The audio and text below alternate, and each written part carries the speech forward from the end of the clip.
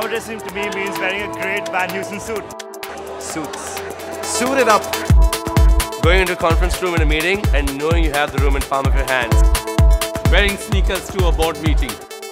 Making your own choice and not bothering about what the world has to say, say about what is in fashion or what looks hot or what doesn't. Or I think it, if you're happy, then that's all that matters.